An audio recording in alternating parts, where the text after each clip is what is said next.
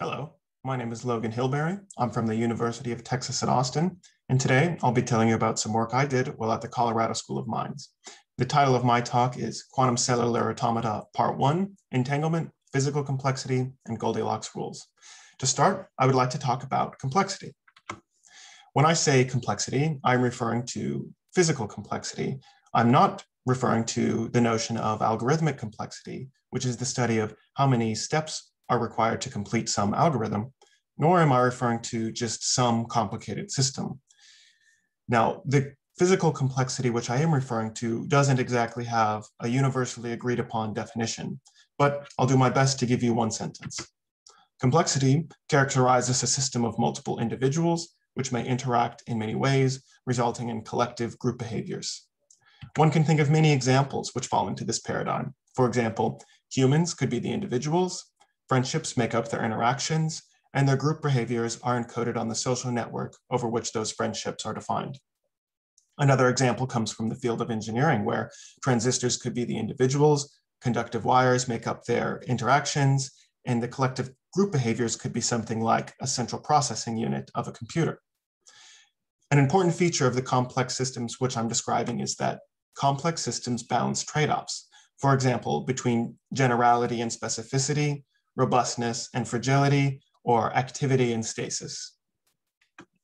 An important abstraction in the study of complex networks is that of network analysis. Individuals could make up the nodes of a network their interactions could be encoded in the links between those nodes, and the group behaviors could be quantified with network measures defined over those weights. For example, node strength is the sum of all of the link weights on a specific node, and the distribution of node strengths can quantify the presence of hubs in a network. For example, in a food web, there's a broad node strength distribution, which signals the presence of hubs, which are species which are critical to the functioning of the food web, and if removed, could cause the collapse of the food web. Disparity is a network measure which quantifies the backbone-like structure of a network. In this example, we see the metabolic pathways of various biomolecules taken by cellular organelles. So there's lots of ways for a certain biomolecule to be metabolized, but there's a strong backbone like highway over which that biomolecule travels in its path through metabolism. Another example network measure is clustering. Clustering quantifies the tendency of a network to form tight-knit communities. And for example, is high in social networks where my friend one and my friend two are likely to be friends themselves. So let's look at a particular case of a system exhibiting physical complexity that's quite simple, and that's the classical elementary cellular automata, or ECA. In this system, the individuals are 1D bit strings, the bits of a 1D bit string. The interactions are encoded in a local transition function, which takes as input the state of a neighborhood and gives as output the state of the center site in that neighborhood. And group behaviors are encoded in a simultaneous global update. That is, the local transition function is applied simultaneously to all bits of the bit string. With three inputs and one output, all of which are zero and one, there are 256 possible local transition functions, which can be simply enumerated with a rule number R. Let's look at a few examples of the outcomes of these rules. So rule 90 generates this fractal known as Sierpinski's triangle. Rule 30 is capable of generating encryption quality random numbers. And rule 110 is capable of universal computation. So to quantize this system and generate our quantum cellular automata, or QCA, we first trade bits for qubits. So a discrete space, state space of zero and one becomes a continuous state space of the Bloch vector on or inside the Bloch sphere. The local transition function is traded for a double controlled unitary gate in which rather than setting the center bit of a neighborhood to zero or one, we perform some operation on the Bloch vector, and that's encoded in the unitary operator V. And the simultaneous global update is traded for even odd site circuit layers. If we follow through this procedure, the 256 classical rules, which we distinguish with a C to remind us that they are the classical rules, become 16 quantum rules, which we distinguish with a capital T to remind us that three sites participate in that double controlled unitary gate. In the next talk, my colleague will describe the F rules in which both the nearest neighbors and next nearest neighbors constrain the update of a center site or five sites. Let's take a closer look at this double controlled unitary gate. We see that it involves the sum over the local state space of the left neighbor as well as the right neighbor.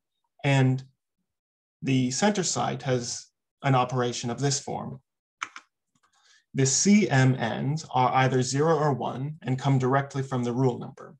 And the matrix power, V to the CMN, is either the identity if C is zero or the operator V itself if C is one. And we see that, in other words, the neighbors decide whether the center site is static or active. And so let's look at a few example rules to understand where there is a trade-off which can be balanced in order to generate physical complexity. Rule T0, in which all of the CMN are equal to zero, is trivially always static. It always applies the identity operator to all the qubits in the lattice. Rule 15 is similarly trivial in that it is always active. It will always apply the update operator V without any respect for what the neighbors are. If we further constrain or allow updates, we arrive at the near Goldilocks rules, T1 or T14. However, we might say that these rules are either too cold or too hot. In other words, too static or too active. The balance point of these rules occurs for rule T6, which is active if and only if the neighbors are in opposite basis states. We call this rule the Goldilocks rule because its activity versus inactivity is just right. I'll also describe what I'll call a far from Goldilocks rule T13, which has high activity like rule T14 plus a broken symmetry. And we'll see that this rule generates behaviors which are the furthest from the Goldilocks case. So I would like to show you the results of some simulations, and so I'll give you the setup of those here. We initialize the lattice with a one centered in a sea of zeros.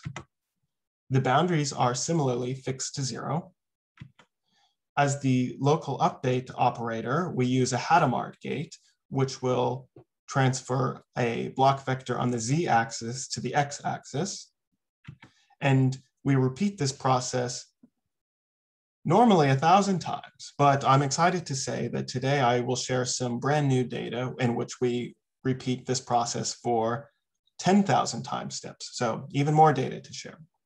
At each time step, we record the quantum state of the system psi. That state can be used to create the pure system density matrix rho, which further can be traced out to define the state of a mixed subsystem. From those subsystems, we can calculate expectation values, and as we'll see, that will give us an analog of zero or one that we saw in the classical ECA case. Similarly, we can calculate the quantum entropy of a subsystem. Here, I show the equation for the von Neumann entropy, which we'll use to quantify the entanglement between the subsystem and the rest of the lattice. So let's look at a few outcomes of simple one-point observables. On the right, I show the local von Neumann entropy, and on the left, I show the local magnetization, which is the analog of zero or one that we saw in the classical ECA case. It is the far from Goldilocks rule T13 which we see quickly equilibrates and remains equilibrated at late times. The near Goldilocks rules, T1 and T14, remain somewhat dynamic at later times, but it's the Goldilocks rule T6, which remains very dynamic through all of the times that we simulated through in these simulations.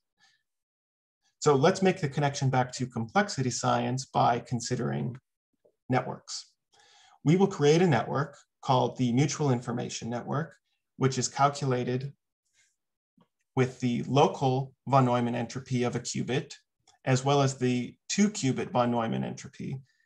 And it's combined in this form to create a two index object, which we will interpret as a network.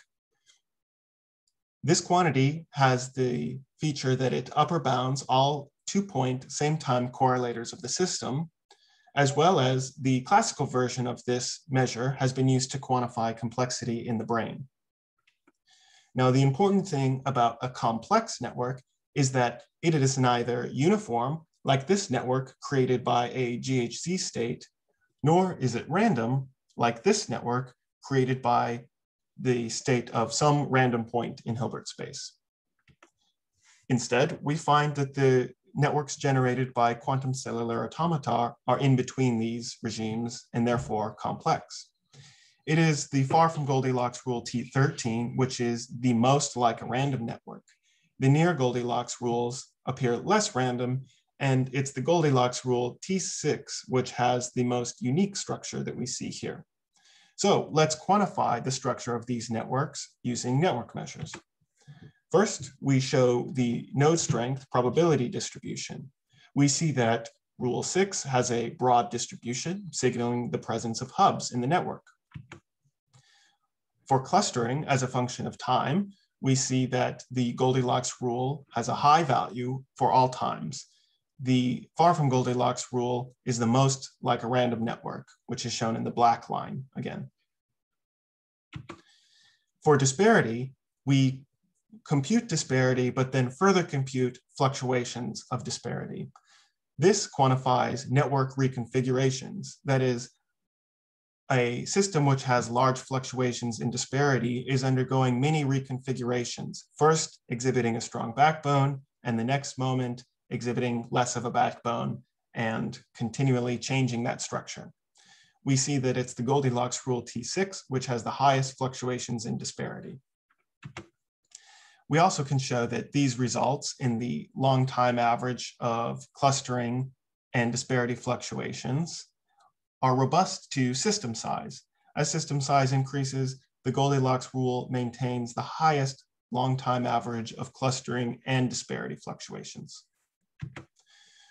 We can show our results are general if we change the local update gate from a Hadamard to a Hadamard times a phase gate. The phase gate rotates the Bloch vector around the z-axis by an angle epsilon. We see that in the long time average, it is still the Goldilocks rule T6, which maintains the highest clustering and the highest disparity fluctuations for all angles epsilon. Additionally, we can show our results are generalized to various initial and boundary conditions. Each column of this figure reports on a different boundary condition. The first, where boundaries are fixed to zero, as we've been discussing so far. The middle, where boundaries are fixed to ones.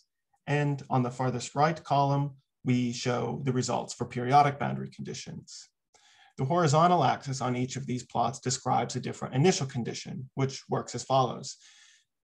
Each site is initialized to either a one with probability P or a zero with probability one minus P. And we compute the subsystem density matrices for each initialization and average those results for 500 trials. And as a function of the probabil probability P, we see that it's the Goldilocks rule T6 which tends to maintain the highest clustering and disparity fluctuations for nearly all values of P. The notable exception is at the highest entropy state in which there is equal probability of setting a initial qubit to a one or a zero. So in conclusion, quantum cellular automata, as we have defined them, are simple one-dimensional quantum systems Goldilocks QCA are those rules which balance activity with stasis. And furthermore, Goldilocks QCA are those that can reliably generate physical complexity. I would like to earnestly thank my mentors and collaborators for this work, and I thank you all for your engagement. If you need more QCA, check out part two of this series and also check out our arXiv paper, which is listed here. Thank you very much.